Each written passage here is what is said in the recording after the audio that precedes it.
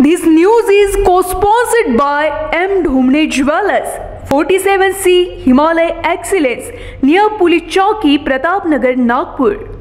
नागपुर में महानगर पालिका के चुनाव नज़दीक है ऐसे में जनप्रतिनिधियों द्वारा पिछले पाँच साल में अपने द्वारा किए गए विकास कार्यों को लेकर तारीफें कर रहे हैं वही प्रभाग 38 में स्कूल की मुख्य समस्या थी लेकिन नगर सेविका के कार्यकाल में स्कूल पूर्ण रूप से तैयार हो चुकी है सगळ्यात पहिले शिवणगाव महानगरपालिकेमध्ये एक शाळा होती. ती चाळीस पन्नास वर्ष आधीपासून बनली तयार झालेली होती. त्या चाळीस वर्षानंतर त्या शाळेकडे अजिबात कुणाचं लक्ष नव्हतं. म्हणून मी सगळ्यात मोठा प्रश्न तो हा शाळेकडेच वळवला.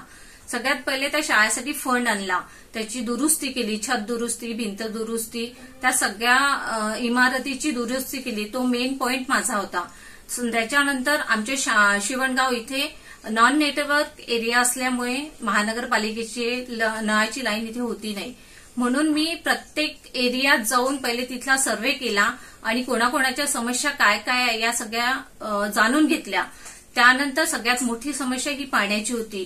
तर मी महानगरपालिके थ्रू आपल्या येणारे टँकर हे सगळ्या एरियात पुरवले. सीआरपी इथे पाण्याची खूपच गरज होती अत्यंत गरज होती. तिथे सोय नव्हती पाण्याची. त्यामुळे बाराही महिने मी तिथे टँकरनी पाणी पुरवठा करते. आणि तसंच या शिवणगाव भागात नॉन नेटवर्क एरिया असल्यामुळे इथे पाण्याची अजिबात सोय नसल्यामुळे मी इथे पंधरा हँडपंप तयार केले. ते ती एक मोठी समस्या इथे निर्माण केली. आणि प्रत्येक माझ्या इथे राशन दुकान असल्यामुळे प्रत्येक एरियातले लोक माझ्या इथे यायच्या. त्या प्रत्येक समस्या माझ्यापर्यंत पोहोचायच्या. या समस्या कशा त्यांच्या पार पडल्या पाहिजे? म्हणून मी त्यांच्यासोबत सुद्धा सगळ्या गोष्टींचा प्रयत्न निर्णय घेतला. त्यांच्या योजना मी समजून घेतल्या व त्यांना हा- मदत केली. पाच करोड तक मैंने यहाँ विकास किया. रोड बनाए। सीआरपी नई बस्ती थी वहाँ पे कोई और कुछ काम किया।